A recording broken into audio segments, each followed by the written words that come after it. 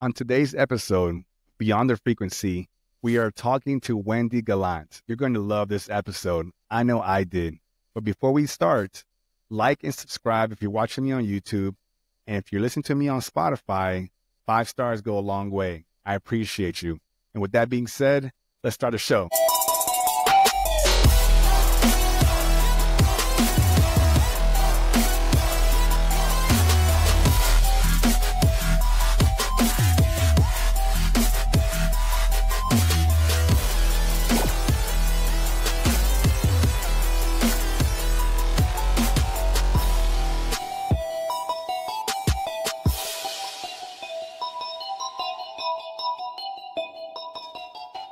What if everything you thought you knew about perception was just a start?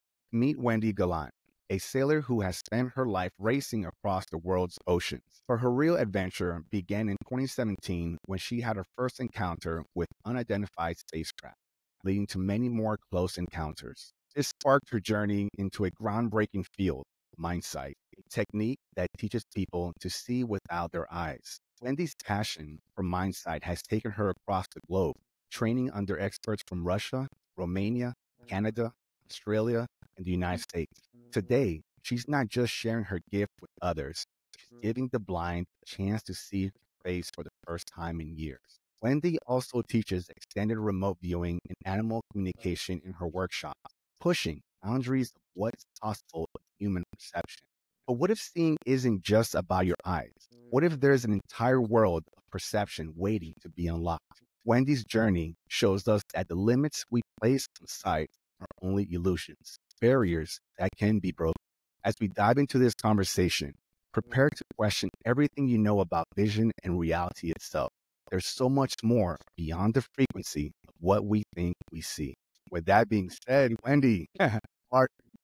Wow. Thank you so much. That was amazing. Yeah. I appreciate that. I appreciate that. No, I mean, I try to write something good that's worth you know, your your Mhm. fantastical status. You know, Yeah. It, it's a it's a pretty incredible story for sure. Yeah. What have what's been happening. Yeah. Before all the craziness, before before you get into seeing things and becoming who you are today, the main Mhm. question I want to ask you is, who were you before all of this? Oh, I was just a young girl who was crazy about sailing. I was introduced to it when I was like 16 or 17. A farmer girl who'd never, like, I lived near the water but didn't pay much attention to it. And my husband came home one day from from sailing a little dinghy with a friend and went, I got to do this. So then he introduced me into it, and that's the end of the story. So I started, I think I posted some pictures on my own Facebook of some of the experiences I've had sailing, and I've done all the big races. And I was so passionate, and I was so hit, hooked to the adrenaline of it, and I was so hooked to the the talent of maneuvering these big boats in close quarters and, and the adrenaline and the excitement and it, it just it was just so exciting for me and also the fun that we had meanwhile and training and meeting new people and it was just i just loved every minute of it and um and when we weren't racing then uh, my husband and i bought a sailboat and we just started cruising and we started racing our own boat and then we started cruising the great lakes and um but our passion was our passion was is to sail the boat to the highest performance it was capable of. So when we were on boat on the boat every second we were tweaking we were adjusting we weren't just sitting there you know what we love nature and everything but our passion was is to sail the boat to its highest performance at all times and we both loved it and we bounced off each other. We taught each other. We, um, my husband was a natural. We found out. Well, I found out I was a natural also. But, um, but um, we learned that each other um, could do the same. Like female, male, didn't matter. You know, like I could go up the mast, he could go up the mast. We trained each other on sail trim and and and stuff. And um, because I'm small, I was always doing the foredeck, which is the most exciting spot to be. And then um, I found I was natural in the helm during races, and I, for some reason, I had no fear. Still don't have any fear. And close quarters and everything. The closer the boats, the more excited I got. The more the adrenaline flowed. So just, I don't know, it was just a passion. It just was crazy passion. And um, then we decided to take the boat down to the Caribbean. And that was a whole different experience. We went all the way down to Tobago, checking out all the islands, got into some really um, exciting experiences, met some incredible people. And um, yeah, we just fell in love with that also. And that was a wholly, oh, but then we did race down there too. So, you know, we took our boat into the races down there. So, you know, it was it was a wild ride for a long time and we were all in the, the big yacht clubs racing out of them and it was just it was just a whole wow experience for me. And um and then cruising cruising to different countries, meeting different people in the different countries. We just, we were all always into meeting the locals, getting involved with the locals, helping the locals as much as we could. And it was just yeah, it was just incredible. Our favorite turned out to be Belize. And Oh. this was before it just got so Honduras was beautiful too, but Belize was just when we were there, we were cruising and we were the only boat, which was just incredible. And we'd drop a hook somewhere and then we'd have dolphins and huge fish and everything all around the boat. Like it was like a fairy tale. Really, really, I have to say, it was like a fairy tale. It was just And with your uh, and with and with love of your life. Oh yeah, exactly. Exactly. Yeah. Yeah. Um, I have to say, um, a lot of people freak out when they hear this, but I met him when I was 13. Yeah. Okay. we yeah. got married and I was 17 and it never stopped. Yeah. So um, we were very close, best friends, the whole thing. Then when we were in Belize is when he said he didn't feel well. So back home we came and uh, went through a bunch of tests and all this kind of stuff. And um, long story short, he passed away in 2017, which actually started my journey because uh, you can imagine the trauma. You can imagine I just went into a state. I ended up selling everything, and but that's when I started. And just tell me if I'm talking too much. Oh no no no! Please go and, and just before you do start, um, I'm sorry for your for your loss. It was yeah, it was traumatic. Yeah, yeah, and it sounds like you know, but prior to to that, you were Yeah. just going life to the to the fullest, you know, so and and traveling and you know feeling like one, and you know, and the fact that you met him early. I mean, Yeah. if you know, you know. yeah, exactly. He was he was an Air Force brat. Hey, I was there. Oh, were you? Okay. Yeah, well, yeah, he yeah, was yeah. an Air Force brat. He traveled all over the world.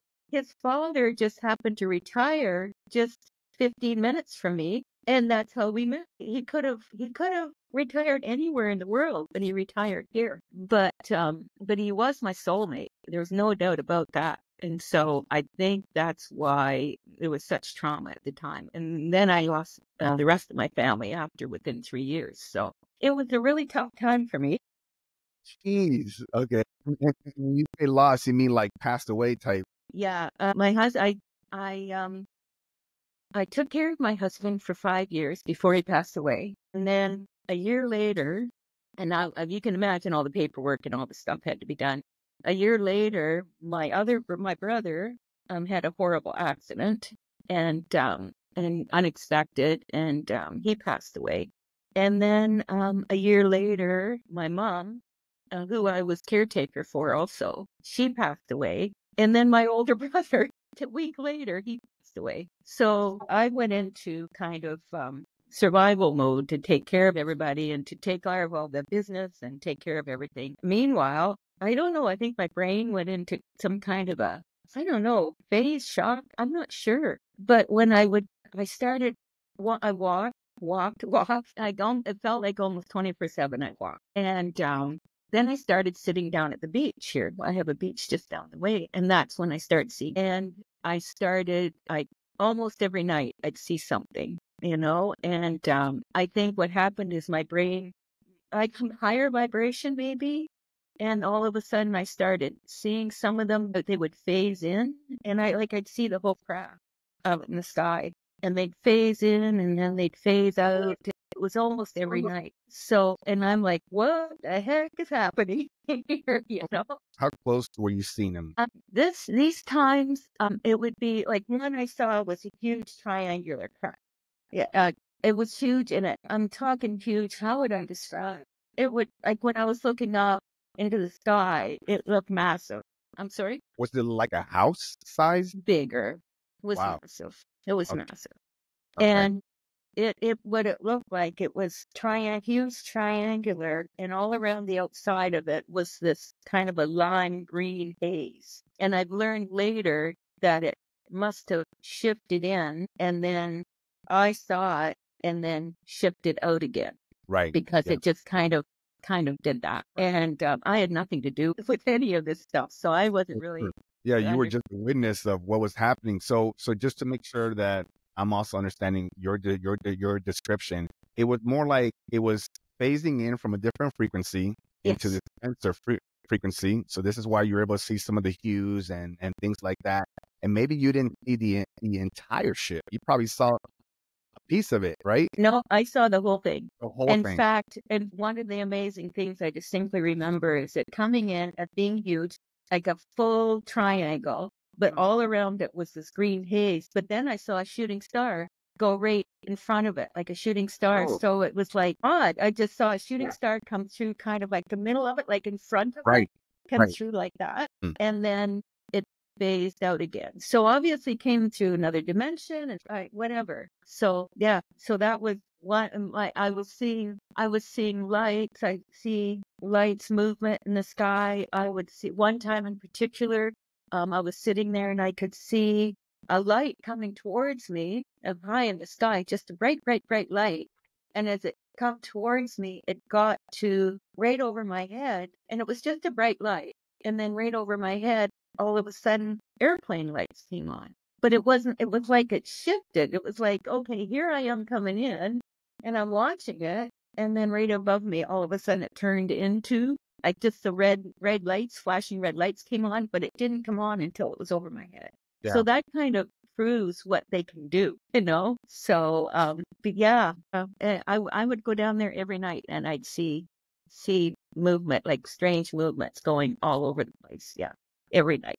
And one night I went down there and it was just like, it was like this, I, I was sitting at home and I could feel, uh, I kept getting the feeling or the calling that you need to go down to the beach. You need to go down to the beach. And I, friends show up and I was like serving them tea and everything. And I kept getting this message in my head. And so I was, they were my best friends, but I was like hurrying them along. And then I left my house and I rushed down. And when I got to the top of the stairs going down to the beach, the sky was lit up with craft, like craft, like just lights going everywhere, shooting everywhere. Like about like a bunch of them, like just scattered. A bunch of them, Really? a whole pile of them. Yeah, a- a lot what, of them. what, where, do you mind saying where in Canada this beach is? I have since heard that there is a vortex out here. Where I live right on the shores of Lake Huron in Canada, Ontario. Okay. Yeah. Oh, Yeah. interesting. Okay, keep keep going. Just want to kind of just figure out like just kind of the area here that we're that we're talking about here. So this again, is you're in the beach. halfway down, halfway down Lake Huron. I won't say where I live, but halfway down Lake Huron. I'm right on the lake. Yeah. I've since learned with these experiences, I've since learned that there could be a portal out there and that they're coming through that. And maybe because of the state I was in, I was able to see them. Gotcha, gotcha. So, yeah. You were hearing voices. I heard uh, it was like a message. It was like a, a feeling or a message. Go to the beach. Go to the beach. Go to the beach. Yeah. And then and then do you think the voices were were telling you to go to the beach to to see what you saw in the sky?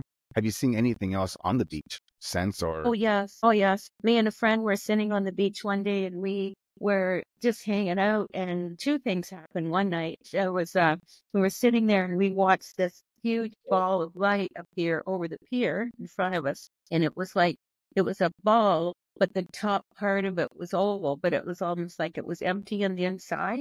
and it was moving across and he saw it too moving across the top of the pier and then another night we were we had equipment down there and he put red lights around the equipment so nobody would trip over them in the dark and um, we were sitting there we're just sitting there in the chair and we both heard something we both felt something we got up quick and we walked around and we didn't see anything but then we looked across and all the lights that were around his equipment had been moved wait, physically moved?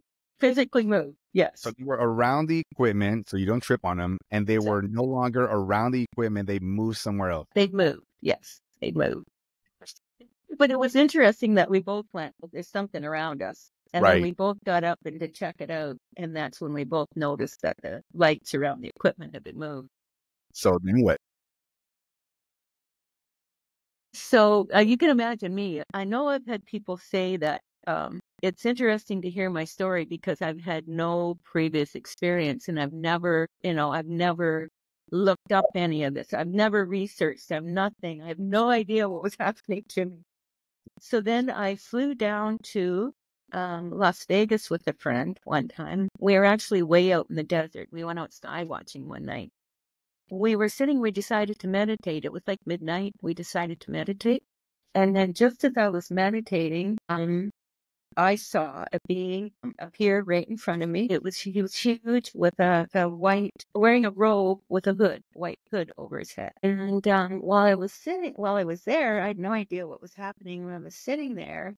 He reached out and he touched me right here. And at that point in time, my friend didn't see him. So obviously he came in, I don't know, through a different frequency. I don't know.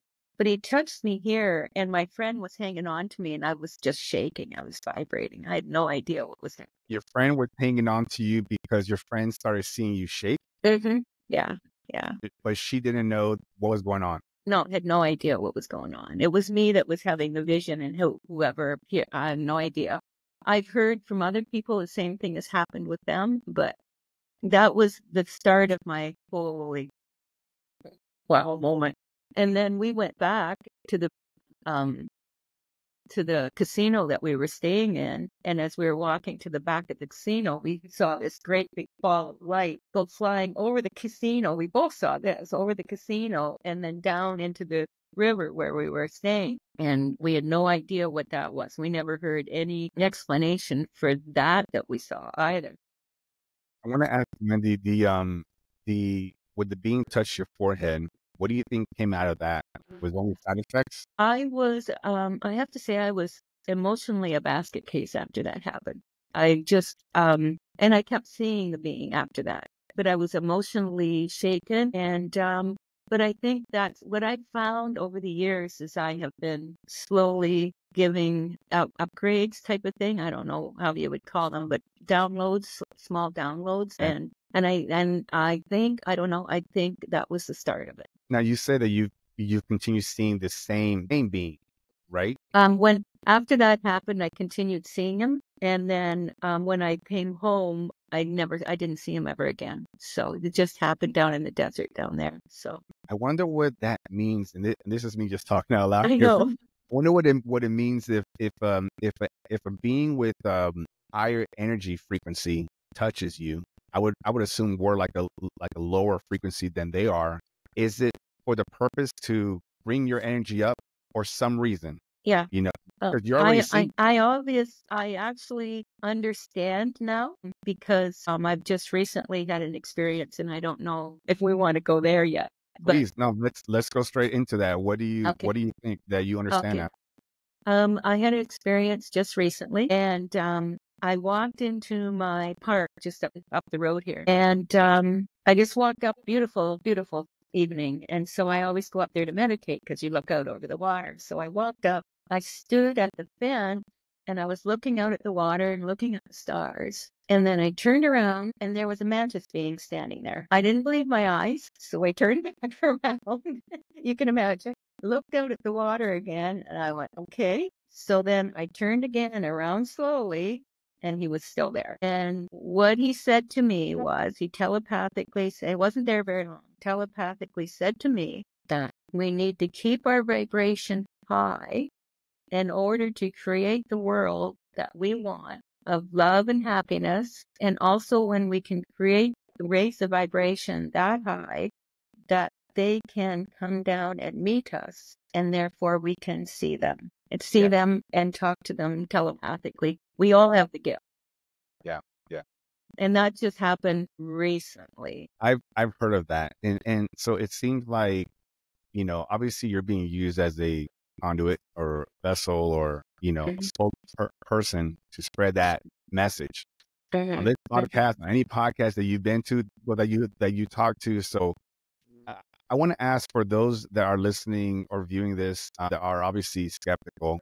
just a question like when you heard this voice telepathically, how do you discern it from your voice? How do you know it's it's a different voice? Oh, it's totally different. You can imagine he's standing right in front of me.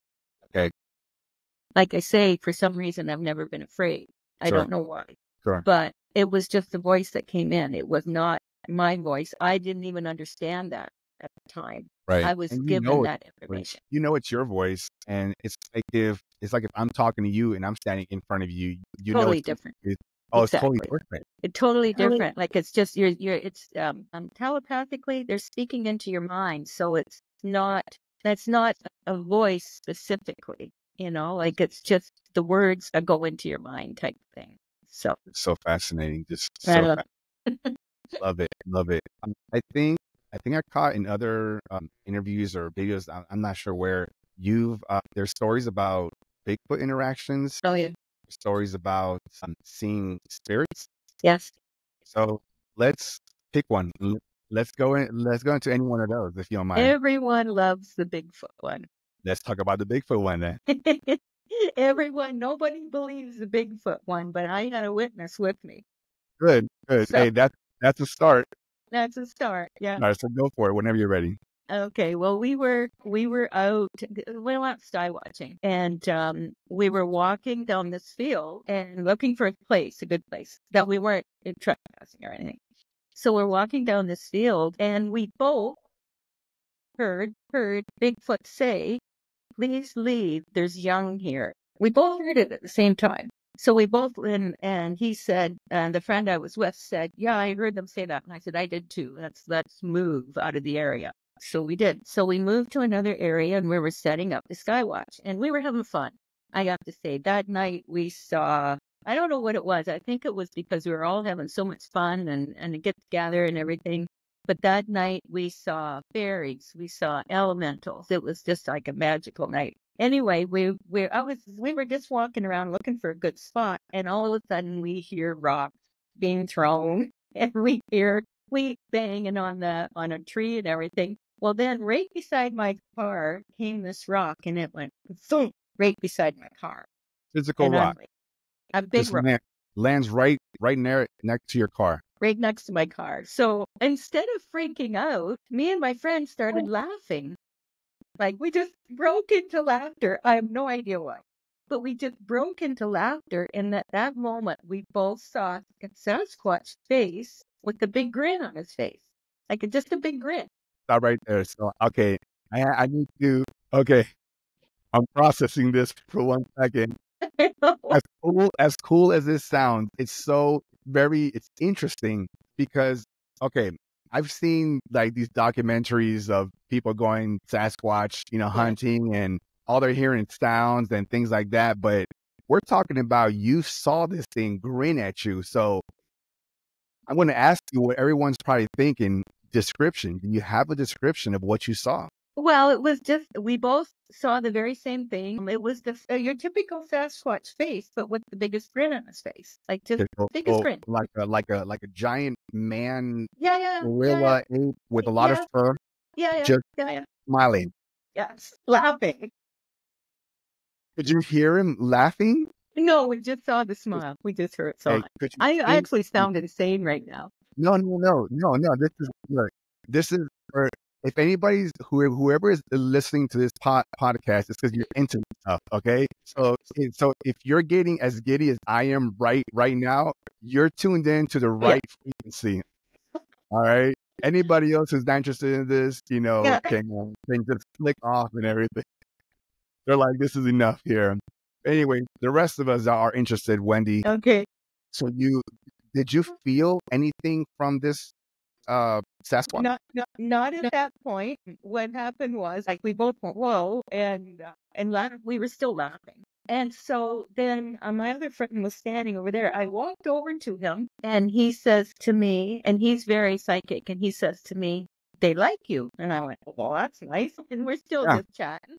Yeah. And so then I walk back to the front of my car and I'm leaning on my car, just leaning on the side of the car. And I look down and here I see Sasquatch. I see furry arms coming down over my shoulders and crossing in front of me like this. And like I'm I'm looking out there and then I look down and I go, whoa, it was like an orangey brown fur. They don't like fur hair, orangey brown hair, and like this. And I looked up at my friends and I, my friend, and I went, somebody puts her arms around me. And he looked at me and he goes, he's about 10 feet tall and he's hanging on to you. And I'm like, okay. And then he just faded out. He just left after that Okay. happened. I need to I need to break that down.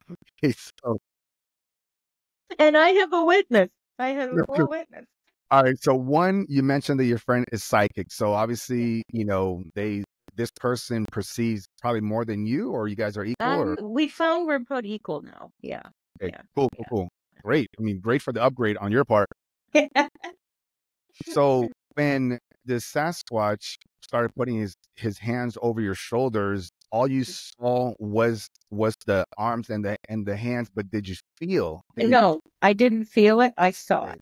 I you just saw it. Saw Was it. like was, it like dense in some sense, or was it like translucent, or It was full vision of the arms around me. Okay. Like full like vision somebody was physically like doing it all also? I Wow. get obviously tall enough that the arms came down like this around me. I mean, if anybody, if any, if any human were to do that to you, that's like an affectionate hug, correct? Yeah, he, he came from behind. So Mm-hmm. he came from behind and did that. And seriously, I felt no malice. I felt nothing bad about it at all. It was just like, like my friend said a few minutes before that, he telepathically heard they like that. She, they like you. And I went, oh, that's nice. And I just walked away and not thinking anything. And next thing I got this. Yeah. Uh, you mentioned that prior to that happening, when you, I think you said that you heard Bigfoot or somebody saying in the woods about leave here or something, or Yeah. Yeah. Yeah. what? Like, did you know what it was? You knew it was a Sasquatch. Yeah. Oh, You knew right away. automatic- You knew Did you right know away it was because um? Did you know that because of the area? There were people always The talking. feeling. No, The- no, it was, that was the feeling. Yeah. It was the feeling. We both had the feeling and we both both knew. Was there an intention when you went to that place that maybe you might run into a Sasquatch? You had no idea. I had no so idea. it just came, and when it when you heard it, you felt, yeah, this is. Like whatever it is, just Yes. I'm not saying anything can be explained. We know there's a lot of things that can't be explained. I'm just trying to just ask whatever comes to my mind as Yeah. somebody. They, can- it- you know, I, I've since learned, I had no idea anything about this, but I've since learned that they're multidimensional and they can come and go as they please anywhere they want to go. They can, they can, they can fully form out or they can, like, they're multidimensional beings. So they're not like a, a real live, like people think they're a real live um, gorilla or whatever hiding in the bush, but they're multidimensional and they can come and go as they please. That's why people find them. You hear stories about them being in their houses or, or whatever. And, um, yeah, they're, they're, um, It's interesting. So for folks that don't understand multi-dimensional, uh, that's basically where a being can exist in any dimension.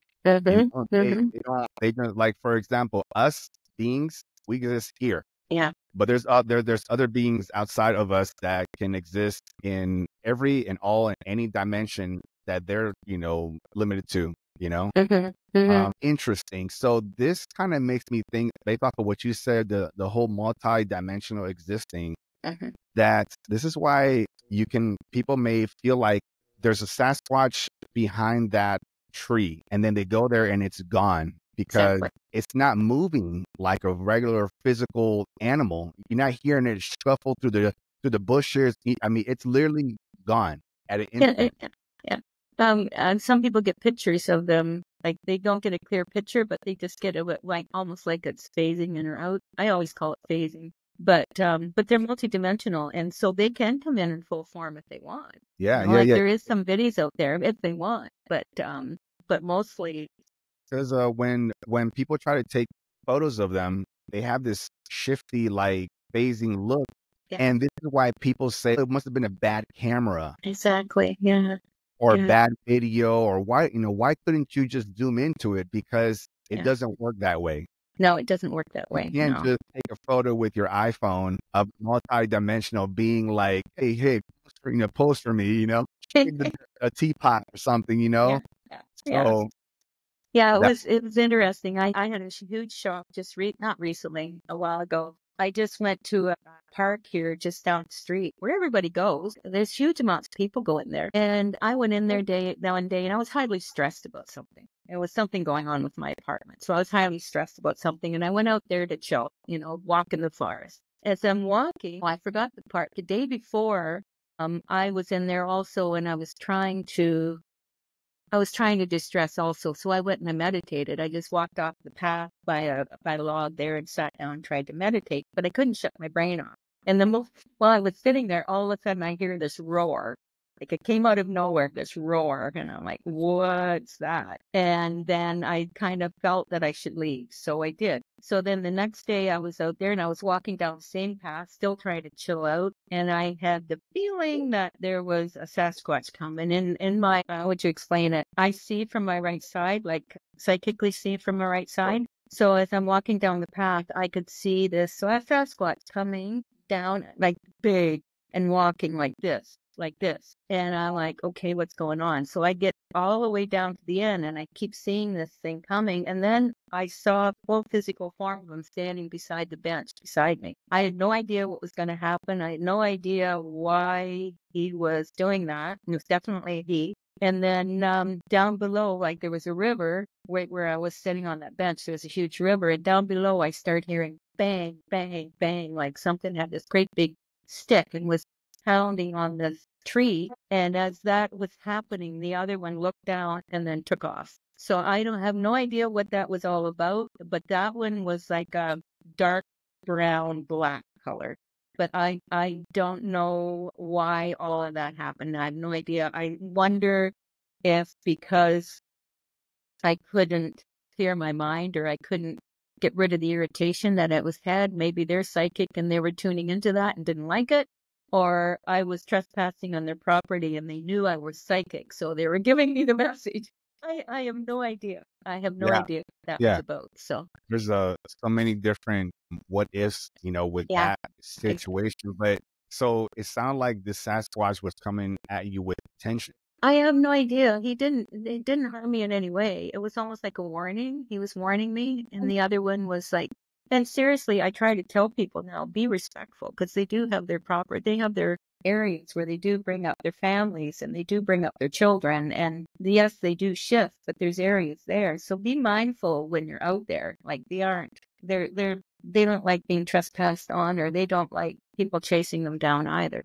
Sounds also from from what you're also explaining is that they seem to also have their own moods. Oh yeah, for sure. Oh yeah. They they feel like we do. Mhm. Mhm. Uh, if someone's in our area trespassing, we're gonna try to Mhm. get out. We don't feel right. And, and again, we're talking about like for us, if we just see somebody with our physical eyes, we start judging and assuming, you know, Exactly. you know, what they're wearing, you know, some people race, things like, you know, all that stuff, right?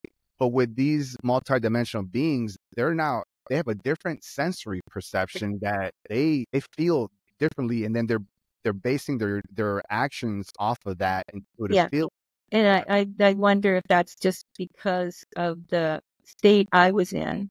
Yeah. They could feel that state That and we're negative energy out of here. get out of here. I mean, it could be it could be as simple as that, Wendy. It could, it could be your energy, uh, you know, because it travels. It travels, right? Oh, it does. Normal Yeah. It is. Yeah. Yeah, they're like, this is affecting our kids. I mean, Yeah. it's like if somebody was in front of my front yard and I had like some young kids and they're out here cursing it up and everything. That's verbal cymatic frequencies that I don't want my kids to feel. So maybe you're coming in. I'm just kind of giving this Oh, yeah, for sure. But you're coming in with this negative feelings. Like, hey, get that out of here. My kids don't need to feel that. No, I always, I always make sure, I always make sure now that I ask permission and see if I get any negative feelings. I ask permission. Can I come into this area? And I always try to make sure I don't go in in a negative mood anymore. I don't, you know, like I try to try to ditch that before I go out for a walk in the because you just don't know. That was just down the street. Yeah. How many people even know that was there? Like they're in the city, they can appear anywhere. So people, it's not you don't have to go out into the wild bush to see this. You know, you just have to raise your frequency, Yeah. raise your frequency, and be able to meet them halfway, and you too can see them. But if you're in a negative frequency, you're not going to see them. If you're going out to shoot them, you're not going to see them. So when you were saying that, I was thinking, going back to these documentary hunters, right? Mm-hmm. Like, we don't really know what their intention is. Mm. I mean, their intention is they're saying that, oh, we just, you know, they're saying that they're very, they're very, you know, uh, fans of Bigfoots and they want to see it. But what are their intentions once they run into one? Yeah, And exactly. I think uh, obviously only they know, but I Yeah. think these Bigfoots, they, they know. They're like, "Mm, They know they can. They can. I've come to the conclusion that the ETs, the Bigfoot, and everything can read our minds. They're telepathic. They know what we're feeling. They know everything. So you walk in there with the intention of harming them. It was kind of like we didn't even have the intention of harming them, but they didn't want us around for their young to see. So they told us to move off. So Yeah. that was a that was an eye opener for me to get that message. Please move off because we have young. there is I have two questions. The first question would be if if somebody like myself was hanging out with you and we went to this area mm-hmm. and you started to experience it- them, would I just be there witnessing the situation through you, just seeing you react mm. to it? Would they depends where your depends where your frequency is because a lot of Yeah. people uh, there's a lot of people that go out sky watching looking for craft a lot of people are really big fans one person will see it the other person won't that's why like um, a lot of people don't believe it because their frequency isn't high enough to see it if that makes sense Yeah. yeah, Yeah, it does. Yeah, it's all about frequency, right? And, and like you said earlier, yeah it is the met that the mantis uh, gave you was not just for you, but for just for everybody. Raise your Exactly. frequency, and then you'll be able to, like you said, meet them, and Mhm. then you can interact. You know. yes right that's right yeah Well, I mean, when it comes to like first contact, there's gonna there's a lot of people that are that are not gonna be contacting anybody because well you know, there's so much talk about oh well why doesn't a craft just come down and and land in front of the white house and then my thought was who's going to talk to them yeah. Who's gonna be the representative? Yeah, not unless they're open, open enough to be able to receive the messages. And there is some messages that are coming through in other ways because they're trying to get the messages out to us. But but that's the thing, they're telepathic. And we're naturally telepathic. We just have not used it. And that's where we come back to the mindset stuff.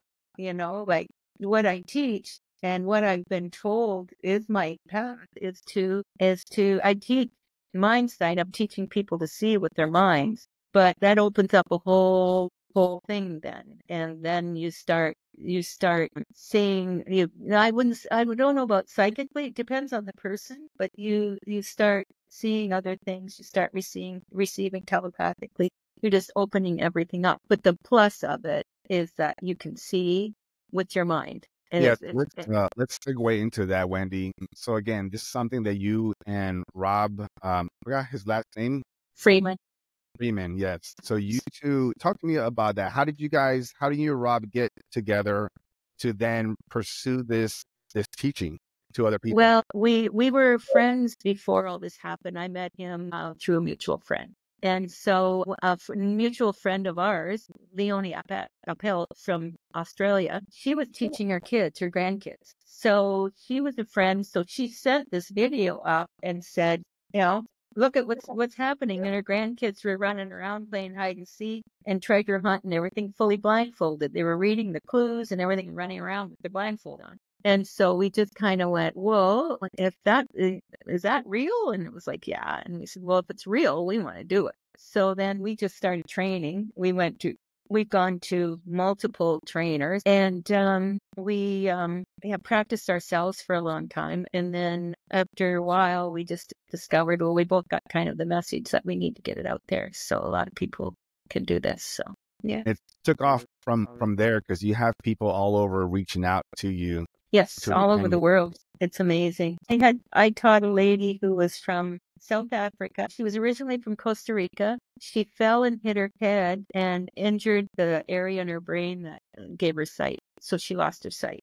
She was in her 80s. Um, she came to me after four years of being totally blind, and um, we became really good friends. We chatted quite a bit before we even started the training session. But on the very first session, the video's on my site. Very first session, she described my face. She described my face. She told me what color eyes I had, uh, what length. She was telling me what length my hair was, what I what I was wearing. She actually described the placemat I had on the table in front of me. If that blows your mind. And um, and then the second training session, she started describing my apartment. Said I have a door beside me and and everything. She'd been blind for four years.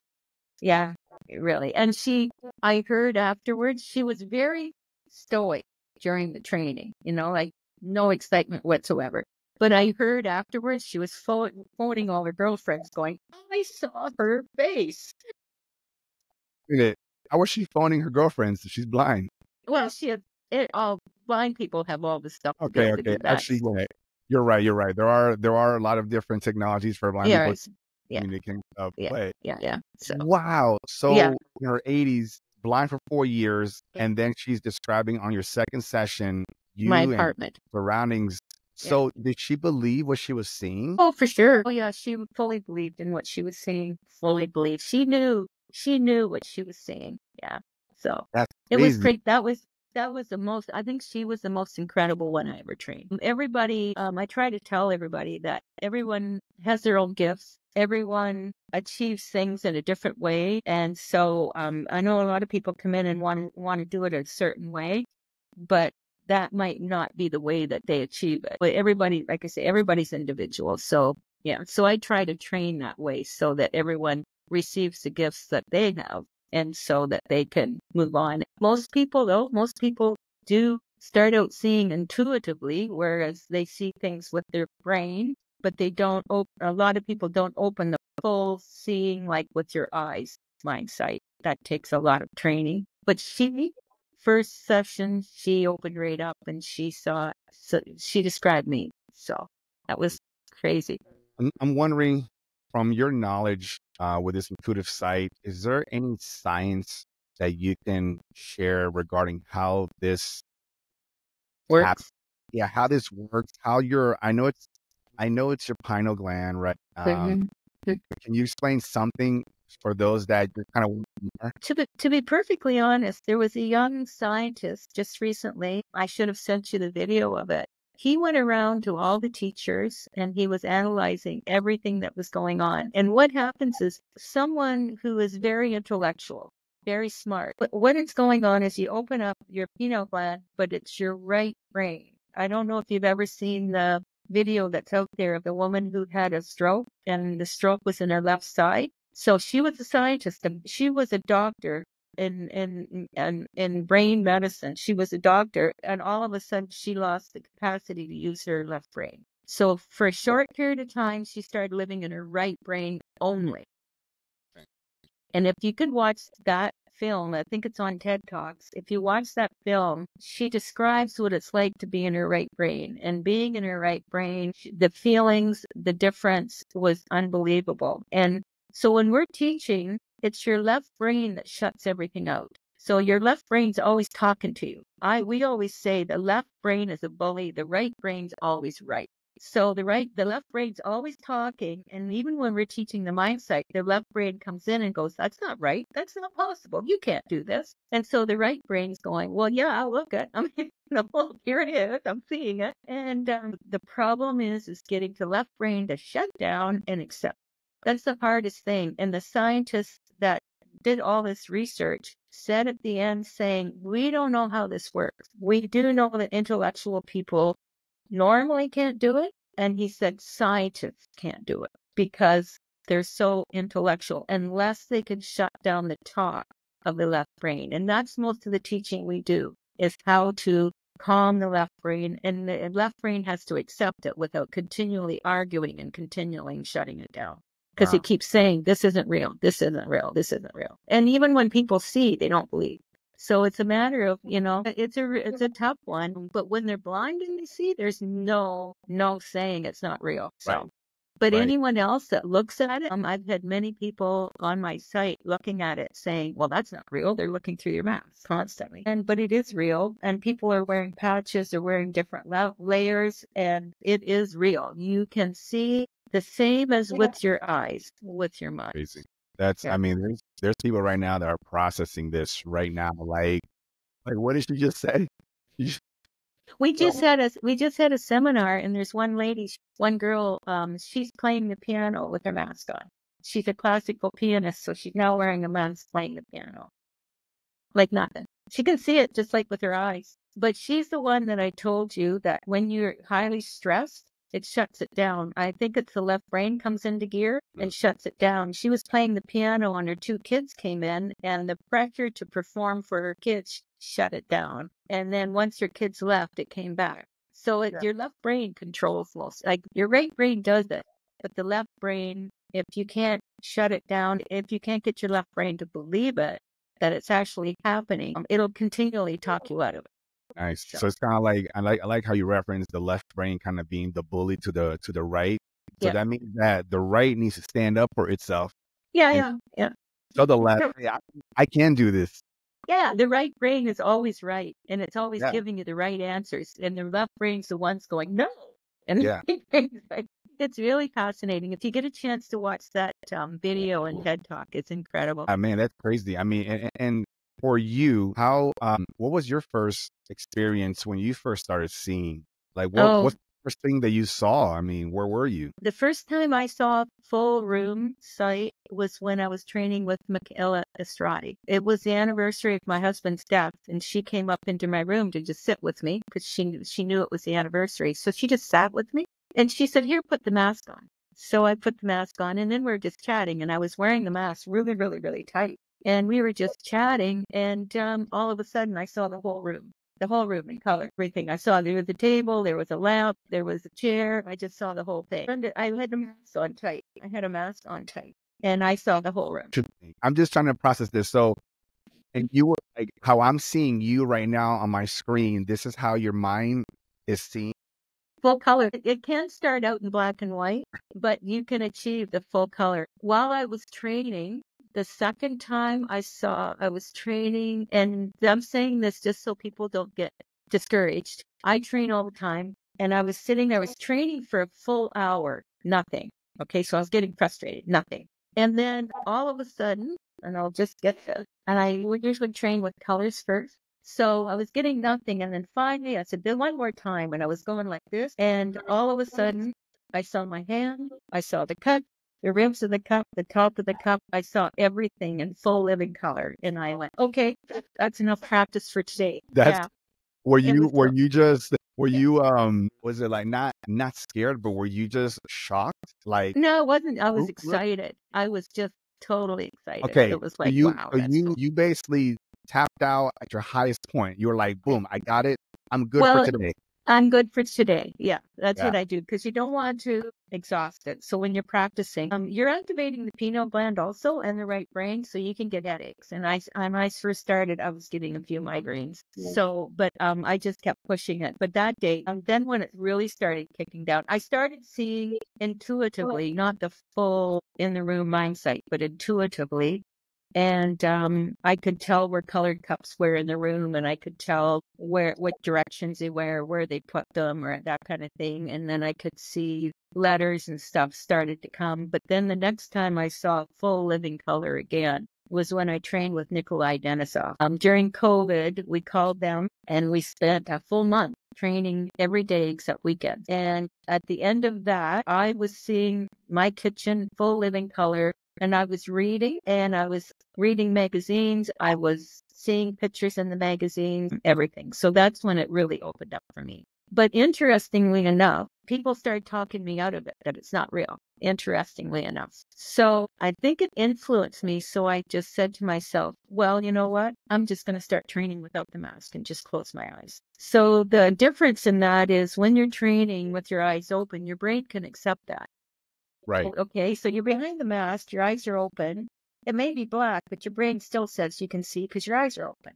You take off the mask and close your eyes, your brain says, well, you shouldn't be able to see. So I just started training that way, and now I can see. I can see in different areas. I we call them windows. I have two windows here, windows here, and windows under here where I can see with my eyes closed in full living color. So and so that proved it, proved it to my brain that it's real because my eyes are closed. I'm not peeking through the mask, which everybody says that we were doing. But Nikolai Denisov was closed eyes also. Yeah. It's it's crazy. Even it's like people, even though that they see it, they still don't believe it. You know, Exactly right. and uh a mantis can be right in front of them and they're like, eh, it's a tree or something, you know, like so it we do this to our to ourselves. Kind of a, like a not to get off this, but just kind of a, something that came to mind regarding the sat. This, what if I've heard theories that what if the Sasquatch is the our original cousins, right? Like there's a yeah. theory with the with the Anunnaki that we were mm-hmm. genetic modified. So I figure that whatever those humans that were mo- that were well, there's cousins, whatever those bipedal um, hominid species that were there were genetically modified to be to become what we are today as humans. Yeah. But the others that weren't continued on the evolution path at that you know without being disturbed, and maybe they became the the Bigfoot. Have you heard anything? I've, like I've actually I've actually heard that story, but I have absolutely no idea. I just yeah, go yeah, by what my experiences are. Yeah, yeah, yeah, yeah. I actually try not to research too much because, you know, I, I find that um, people consider me authentic because I don't research anything. And I just, every time something happens to me, I'm like, oh, yeah, okay, what has happened? And then I'll start asking questions. So, right. No, I love, I love that you mentioned too, because like somebody that would hear your Bigfoot story would then mm-hmm. start asking you, like, you know, all these expert questions, right? People that have not met a Bigfoot. For some reason, they're considered experts of Bigfoot. And I'm like, how does that make sense? You know? Yeah. It's like people who do all this book re- research become experts at this thing that they've never even gone to go see, whether yeah. it be a place or, you know, yeah. I'm an expert of the Pleiades. Like, have you been there? like, what do you know? So I'm glad you mentioned that you don't research this stuff. I You're don't. speaking from your experiences, and, uh, and that speak- is, to me, that is just credibility, hundred percent. Yeah, I just speak from my heart and my experiences and what, and I have no preconceived ideas. They just happen to me, and um, and I just it blows my mind. I'm always excited about everything that happens to me, and um, for some reason, I don't have any fear. So I.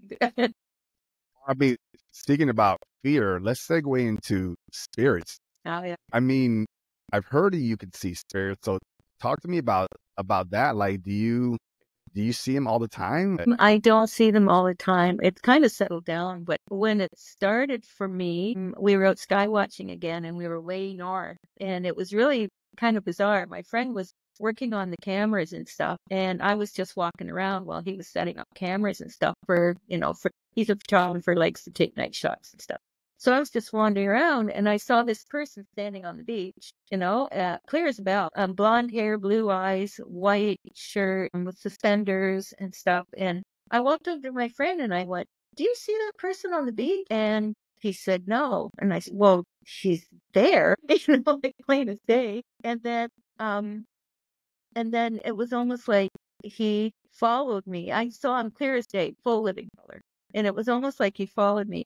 And a really incredible thing for me was um, I was talking to another lady, told her about that, and she could see him too and said, He's a spirit that hasn't passed. And he was, the story was, he was an 1800 sailor, sailed the Great Lakes, and he actually connected with me, and I was seeing, seeing his ship pounding into heavy waters. I learned later he connected with me because I'm a sailor. So he, he, he clicked onto that right away. And so I saw this boat. Huh? Right, how is he connect? Like, how are you seeing that his boat and him um, sailing? Um, he was showing me pictures. Oh. He was showing me visually pictures of it. So I was seeing pictures of this boat pounding down the lake. And what actually happened is he ran aground and the boat sunk and he lost his crew. He lost everyone. So he was responsible. He felt responsible. So he was standing on shore. And um, so we spent some time with him and helped him pass. But then after that, I was wide open and there was like things everywhere.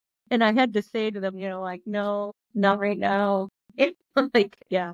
But that's the only time I've had it that clear, that visually clear. Yeah. Uh, so, wow. Okay. First of all, that was interesting regarding the sailor connecting with you and showing you his stories. Mm-hmm. That's, mm-hmm. that's beautiful. It's an amazing yeah, thing. And so you were able to, he's making you under understand. Do you think a lot of spirits connect in that sense where they show you their history? Um, I think most, it's like animal communication in that um, they all, they all seeing pictures.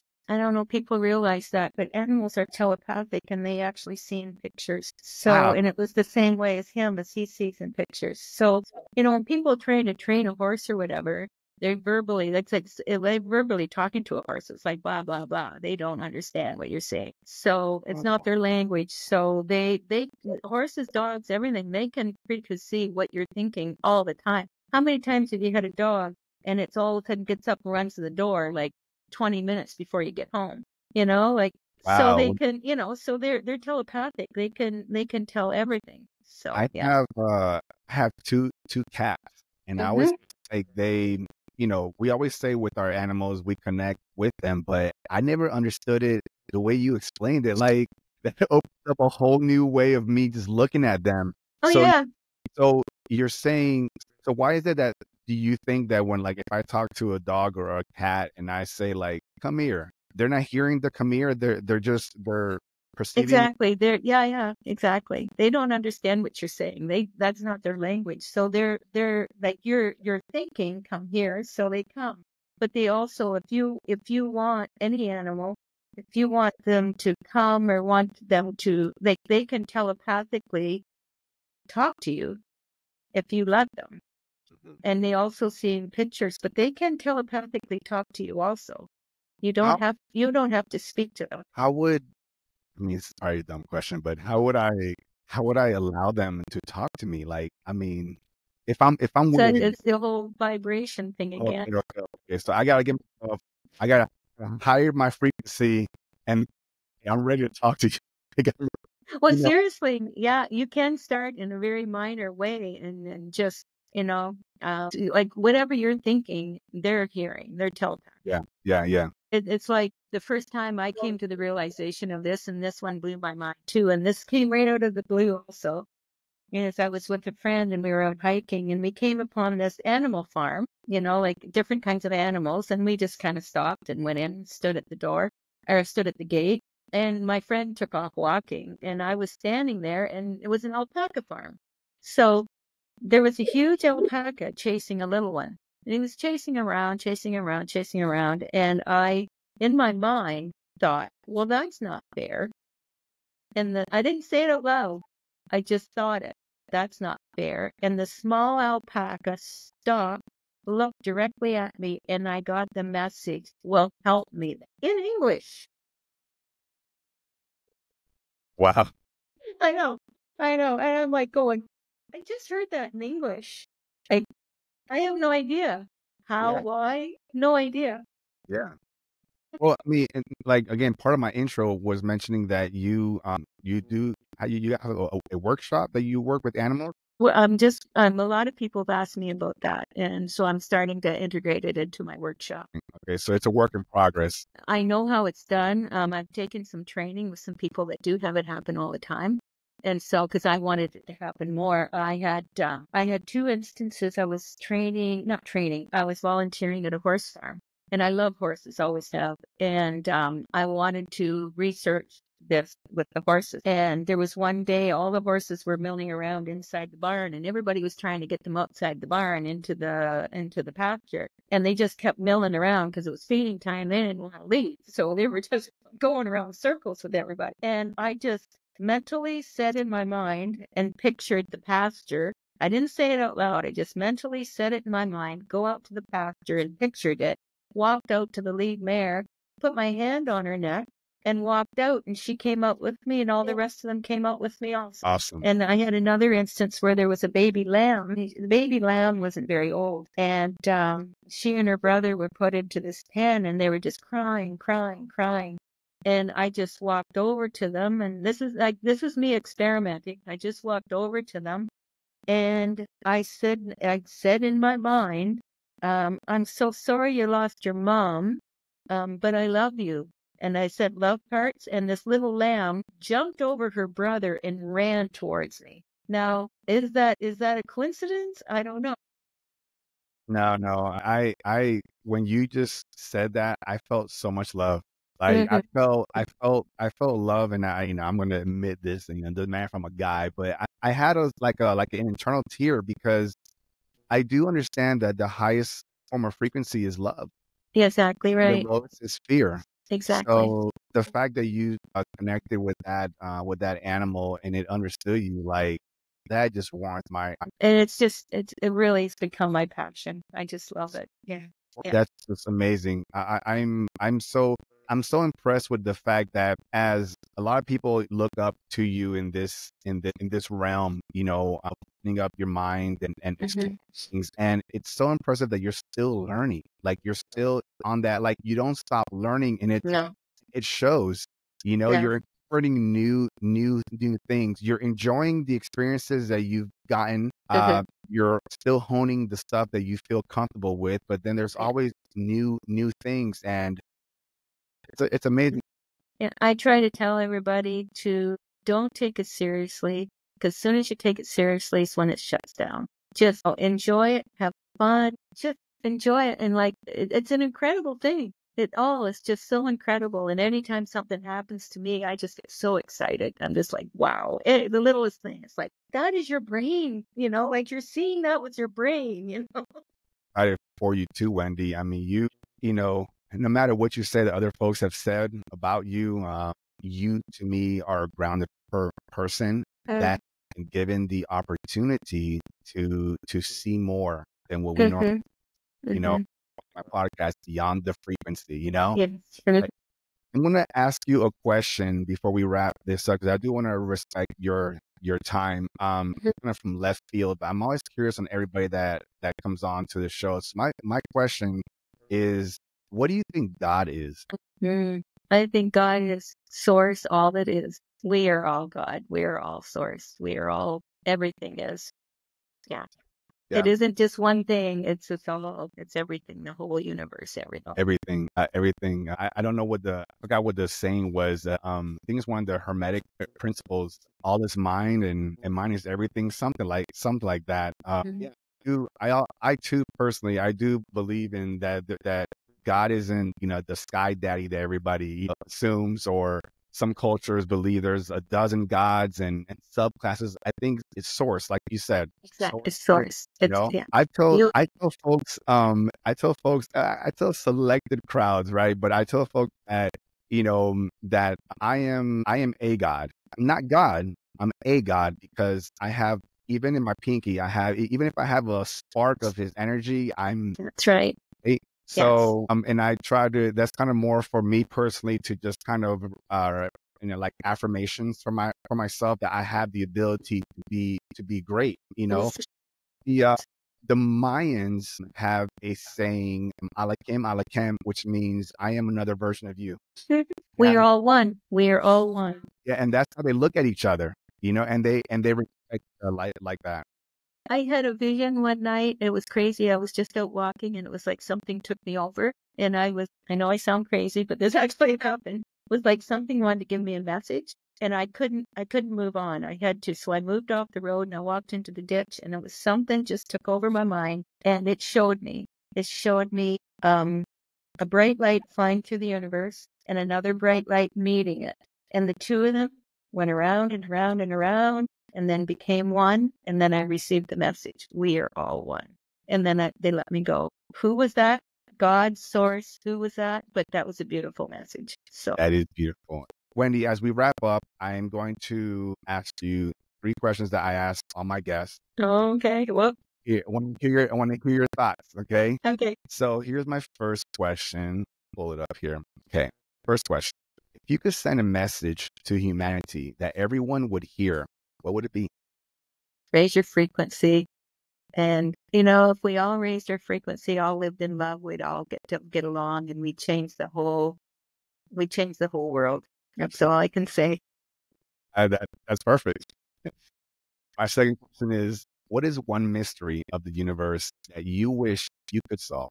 that I wish I could solve. Wow. I'm just the kind of person that's all accepting how I could solve it. The universe, it just keeps coming into the mind of helping the earth survive what it's going through. Therefore, it's going to help all the universe because if anything happens to earth, it's going to affect everything. So we need to do something about what we're doing here. I love it. I love it. And the last question would be this Beyond all the knowledge and experiences you've gained, what still leaves you in awe or makes you question everything? Every day is an incredible experience for me. I don't know. I just, I, I just keep thinking, I keep getting upgraded. I keep getting messages. I'm here for a purpose. I'm here to put out the message of what I'm doing, um, no matter the repercussions. But yeah, I don't know. It's okay. Sometimes I don't think there's an answer for certain que- questions.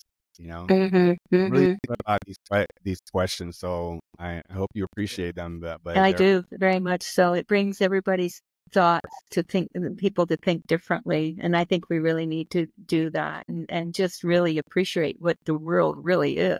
Like people just don't realize the advantages and the possibilities if they just can tune in and open up and, and, uh, and like I say, start living in love, accepting their neighbor. I notice a huge change in myself when I just, no matter what's going on, I'm always trying to smile and just try to, you know, like, and you can change somebody's whole life by just smiling at them. So I think we- if we could change the way we um, live on this earth, I think it could be, it could help each other instead of always fighting and always, you know, it, um, we could shift into a beautiful reality if we could do that. So I think some of us are getting there. Hopefully, everybody. exactly. You know, and this what forty years ago, conversations like this weren't so open, right?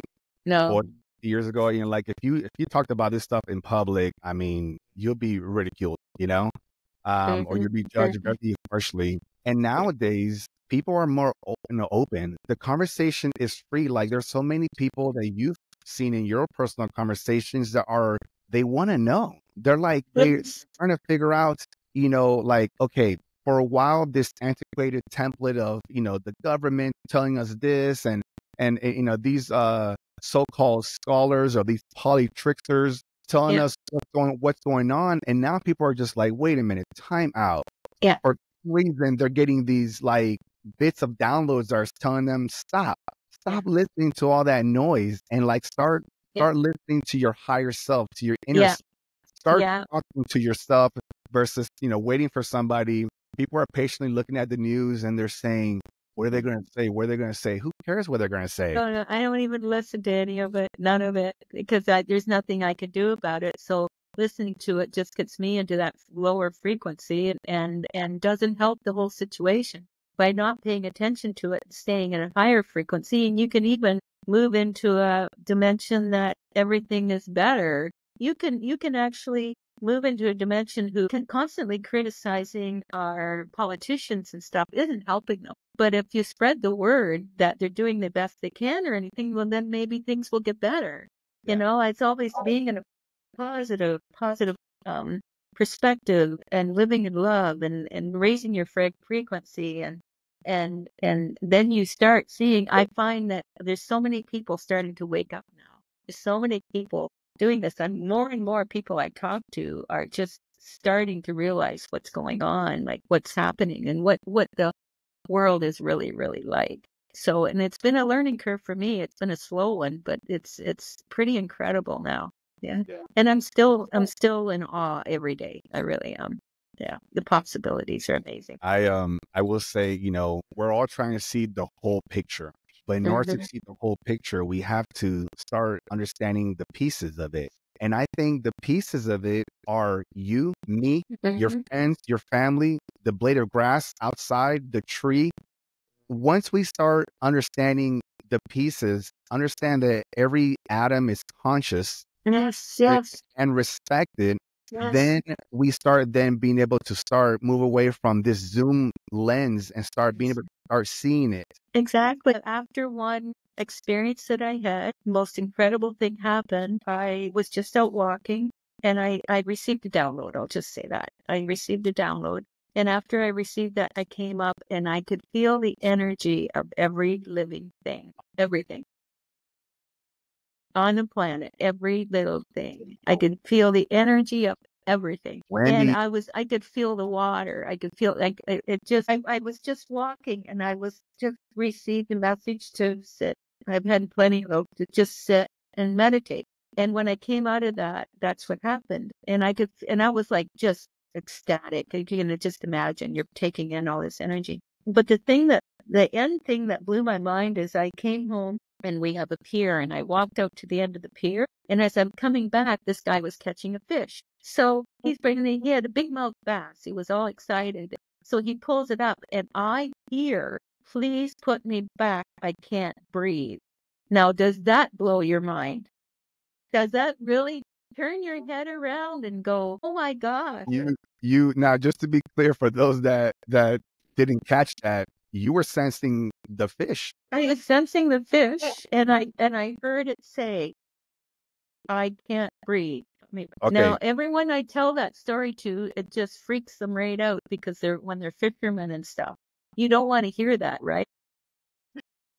You don't want to hear, you know, the people, the the butchers that like, you know, make yeah. our meat. Uh, no one wants to hear, you know, oh they my don't want to hear it. Yeah, yeah. But, um, but, but you know yeah. what? They need to hear it.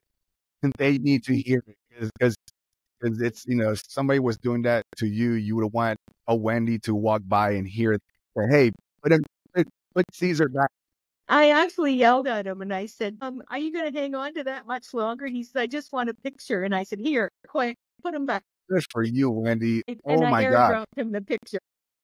Good for you. You know, as funny as that is, you like, oh my gosh, you have you seen that movie, Dr. Do- Dolittle? Uh, yeah, probably, but I don't remember it.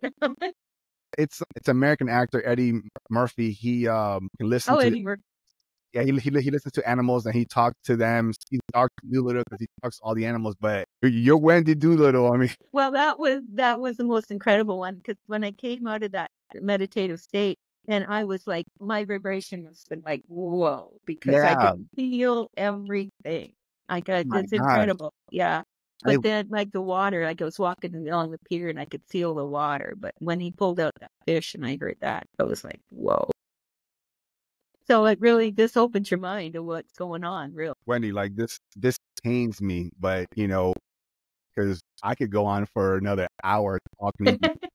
I will ask you this, you know, if you're willing, you know, we might mm-hmm. part two of this at a later time time frame and just more conversations if you don't mind. Sure. Sure. That would be yeah. awesome because I, I have so many different angles to go with this. You're such a fascinating person. Can I call you? Are you a human being? I don't know. I was a I was a sailor for the longest time. Yeah. Oh, uh, we used to we used to sail, and I used to hang off the back of the boat and look at stars when they're under full sail. So, yeah, yeah, yeah. I don't know. Maybe I'm not. I don't know. No, was, I'll tell you one thing that I do know is that you're a special person. Oh, thank you so much. Thank you so much. Um, so for the listeners and the and the viewers, tell them once again, Wendy, you know where they can where can they find you? I have um, a YouTube site called Learning Intuitive Blindfold Sight, and I also have a Facebook site. It's private. It's under the same name. Um, I have often thought about putting it public, but um, all my subscribers want to keep it quiet for now so that they can interact without any repercussions. So it's um, you have to ask to come in, and it's learning intuitive blindfold sight because there's two kinds of seeing. Yeah, uh, so you find me there. You're creating a safe space. People love yeah, that. Or my regular site, Wendy Gallant, is just normal, and I just have all kinds of pictures on that. Uh, Wendy, um, what's um before I before I close out here, I want to give you the opportunity to. Is there anything else that you'd like to say uh, for this episode to the to the viewers and the listeners? The floor is yours. Oh, I just like to tell everybody to really realize what the world's really all about and and become part of the masses that are opening up and waking up and realizing what it's all about. Yeah, keep your frequency high. Be happy. Be in love. That's all it's all about. I um, I am currently sitting in gratitude I am both. I'm excited. I, I, I am in a, I'm definitely in a higher frequency than I, than I was before we started this episode uh, and plan on keeping it for the rest of the, the day. Uh, mm-hmm. Uh, I said earlier in this conversation that energy tra- travels and I feel it, you know, um, mm-hmm. it's a beautiful thing. And just two people sitting down having a conversation mm-hmm. is powerful. Imagine 5 billion people on this planet to include what's already at a high frequency, which is your plant life, your animals. Exactly. It's a beautiful thing, folks. Like, let's try to get, get there. I mean, let's let's just straight up just try to get there, figure it out. Um, if you're interested in raising your frequency, there's so many. Um, if you're you're finding out about Wendy Gallant for the first time, look her up, just look at her videos. Um, you'll be impressed about what other people are doing, and it may give a little bit of courage or push that you've been Sure. looking for to try something new. You know. I know a few years back I ran into you, uh, meaning like online, and I may have saw that video that I think you posted it where regarding the kids running around Oh blindfolded. yeah, yeah. I think Yeah, I yeah. did the video now that I'm thinking about it, but I asked the same question that you did. I was like, is that possible? And then boom, that started my journey into trying to do that. So if that happened for me just like that, it's Yeah. gonna this this episode is gonna trigger for a lot of a lot of folks. And I I'm hope so. I'm excited everybody as we have these conversations, all we're doing is making things better. Yes, Yes, yes. exactly. And that's what we all got to start doing. Yeah. We'd be much so much happier if we all lived in that in that frequency. We'll get there. We'll get there. We'll we'll get there. Uh, well, Wendy, thanks a lot. I usually kind of have like a segue as I go out, but I'm I'm just I'm feeling great. So the last thing that I'm going to say is basically, guys, listeners, viewers, young, old, whoever, tap in, tune in. Mhm. You know you want to be there. It's the best feeling. Forget psychedelics. Forget alcohol. Forget you want to feel good. Just start having these conversations. That's it. You know, if you're thinking about, you know, if you're thinking about you're going out, if this is a Friday or Saturday and you're like, man, after this podcast, I'm going to go out to the club or go party. and s-" No, we've given you, we've given you exactly this was party. All right.